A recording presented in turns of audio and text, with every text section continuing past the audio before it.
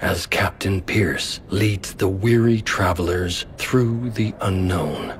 They happen upon an abandoned tower, a beacon of hope in the seemingly endless abyss.